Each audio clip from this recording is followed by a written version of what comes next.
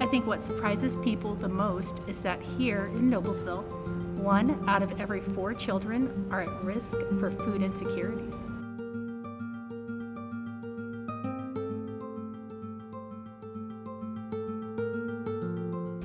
My name is Christina Trusty, and I am the Executive Director of Fueled for School, Noblesville's children's meal program and food pantry. Historically, we have provided weekend meal packs for children in need. We serve children grades pre-K through high school and occasionally college students who are at risk or who suffer from food insecurities. So when school closed, we knew that we needed to change our program which historically was weekend meal packs, into something that would support the new needs of the children that we served.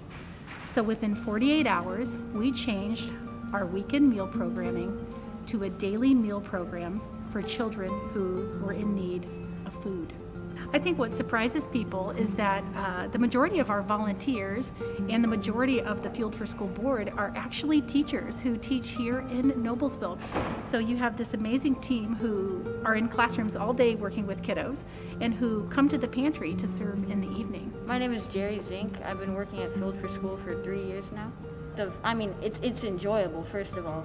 And second of all, you know, you're helping kids and families all around you. Like, I'm helping kids at my school and my peers even. It's, it's really good knowing that you're helping the people around you and you can see the impact that you're making. That's the best part.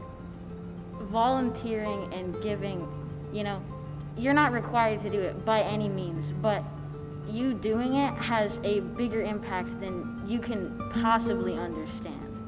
You know, it helps so many kids go through their daily lives, and not just kids, but the adults and their families thing I think that makes you know Fueled for School really special is the way that Fueled for School connects our community.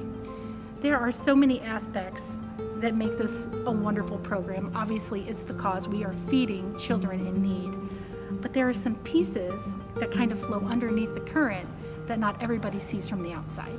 Um, and one of those being 50% of all meal packs that leave the Fueled for School pantry have been packed by young adults who have special needs.